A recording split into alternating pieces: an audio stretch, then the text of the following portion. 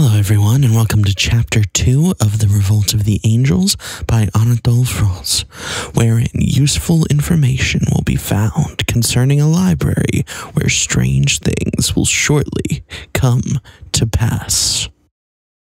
Desirous of embracing the whole circle of human knowledge, and anxious to bequeath to the world a concrete symbol of his encyclopedic genius and a display in keeping with his pecuniary resources, Baron Alexandre d'Esparvieu had formed a library of 360,000 volumes, both printed and in manuscript, whereof the greater part emanated from the Benedictines of Ligugé. By a special clause in his will, he enjoined his heirs to add to his library, after his death, whatever they might deem worthy of note in natural, moral, political, philosophical, and religious science. He had indicated the sums which might be drawn from his estate for the fulfillment of this object, and charged his eldest son, Fulgence Adolphe, to proceed with these additions. Fulgence Adolphe accomplished with filial respect the wishes expressed by his illustrious father. After him, this huge library, which represented more than one child's share of the estate, remained undivided between the senator's three sons and two daughters, and René d'Esparvieu, on whom devolved the house in the Rue Garancier, became the guardian of the valuable collection. His two sisters, Madame Paulet de Saint-Fond and Madame Guissart, repeatedly demanded that such a large but unremunerative piece of property should be turned into money, but René and Gaétan bought in the shares of their two co-legatees, and the library was saved. René d'Esparvieu even busied himself in adding to it, thus fulfilling the intentions of its founder. But from year to year, he lessened the number and importance of the acquisitions, opining that the intellectual output in Europe was on the wane. Nevertheless, Gaétan enriched it out of his funds with works published both in France and abroad, which he thought good, and he was not lacking in judgment, though his brothers would never allow that he had a particle. Thanks to this man of leisurely and inquiring mind, Baron Alexander's collection was kept practically up to date. Even at the present day, the d'Esparvieu Library in the departments of theology, jurisprudence, and history is one of the finest private libraries in all of Europe.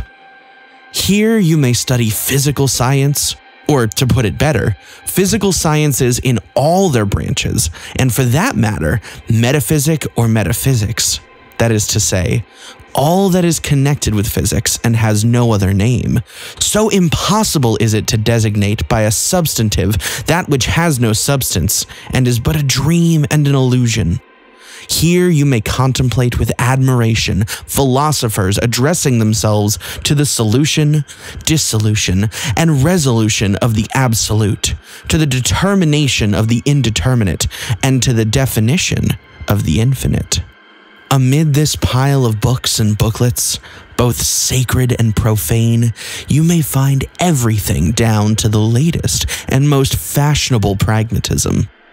Other libraries there are, more richly abounding in bindings of venerable antiquity and illustrious origin, whose smooth and soft hued texture render them delicious to the touch. Bindings which the gilder's art has enriched with gossamer, lacework, foliage, flowers, emblematic devices, and coats of arms, bindings that charm the studious eye with their tender radiance. Other libraries perhaps harbor a greater array of manuscripts illuminated with delicate and brilliant miniatures by artists of Venice, Flanders, or Touraine but in handsome, sound editions of ancient and modern writers, both sacred and profane. The d'Esparvieu Library is second to none. Here one finds all that has come down to us from antiquity, all the fathers of the church, the apologists and the decretalists, all the humanists of the Renaissance, all the encyclopedists, the world, the whole world of philosophy and science. Therefore, it was that Cardinal Merlin, when he deigned to visit it, remarked, There is no man whose brain is equal to containing all the knowledge which is piled upon these shelves. Happily, it doesn't matter. Monsignor Cachepot, who worked there often when a curate in Paris, was in the habit of saying, I see here the stuff to make many a Thomas Aquinas and many an Arius, if only the modern mind had not lost its ancient ardor for good and evil. There is no gainsaying that the manuscripts formed the more valuable portion of this immense collection.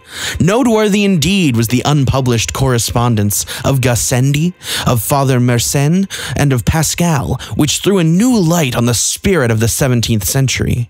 Nor must we forget the Hebrew Bibles, the Talmuds, and the rabbinical treatises, printed and in manuscript, the Aramaic and Samaritan texts on sheepskin and on tablets of sycamore. In fine, all these antiques and valuable copies collected in Egypt and in Syria by the celebrated Moïse Dedina and acquired at a small cost by Alexandre d'Esparvieu in 1836 when the learned Hebraist died of old age and poverty in Paris. The Esparvienne Library occupied the whole of the second floor of the old house. The works thought to be of but mediocre interest, such as books of Protestant exegesis of the 19th and 20th centuries, the gift of Monsieur Gaétan, were relegated unbound to the limbo of the upper regions. The catalogue, with its various supplements, ran into no less than 18 folio volumes. It was quite up to date, and the library was in perfect order. Monsieur Julien Sariette, archivist and paleographer, who, being poor and retiring, used to make his living by teaching, became, in 1895, tutor to young Maurice on the recommendation of the Bishop of Agra, and with scarcely an interval found himself curator of the Bibliothèque Esparvienne. Endowed with businesslike energy and dogged patience, Monsieur Sariette himself classified all the members of this vast body the system he invented and put into practice was so complicated. The labels he put on the books were made up of so many capital letters and small letters, both Latin and Greek, so many Arabic and Roman numerals, asterisks, double asterisks, triple asterisks, and those signs which, in arithmetic, express powers and roots, that the mere study of it would have involved more time and labor than would have been required for the complete mastery of algebra. And as no one could be found who would give the hours, that might be more profitably employed in discovering the law of numbers to the solving of these cryptic symbols. Monsieur Sariette remained the only one capable of finding his way among the intricacies of his system. And without his help, it had become an utter impossibility to discover among the 360,000 volumes confided to his care, the particular volume one happened to require. Such was the result of his labors. Far from complaining about it, he experienced, on the contrary, a lively satisfaction. Monsieur Sariette loved his library. He loved it with a jealous love. He was there every day at 7 o'clock in the morning, busy cataloging at a huge mahogany desk. The slips in his handwriting filled an enormous case standing by his side, surmounted by a plaster bust of Alexandre de Esparvieu. Alexander wore his hair brushed straight back and had a sublime look on his face. Like Chateaubriand, he affected little feathery side whiskers. His lips were pursed, his bosom bare, Punctually at midday, Monsieur Sariette used to sally forth to lunch at a cremerie in the narrow, gloomy Rue des Canettes. It was known as the Cremerie des Quatre Évêques and had once been the haunt of Baudelaire, Theodore de Banville, Charles Asselineau, and a certain Grande of Spain who had translated the mysteries of Paris into the language of the conquistadors and the ducks that paddled so nicely on the old stone sign which gave its name to the street used to recognize Monsieur Sariette. At a quarter to one, to the very minute, he went back to his library where he remained until seven o'clock. He then again betook himself to the Quatre Évêques and sat down to his frugal dinner with its crowning glory of stewed prunes. Every evening after dinner, his crony, Monsieur Guinardon, universally known as Pere Guinardon, a scene painter and picture restorer who used to do work for churches, would come down from his garret in the Rue Princesse to have his coffee and liquor at the Quatre Évêques, and the two friends would play their games of dominoes. Old Guinardon who was like some rugged old tree still full of sap, was older than he could bring himself to believe.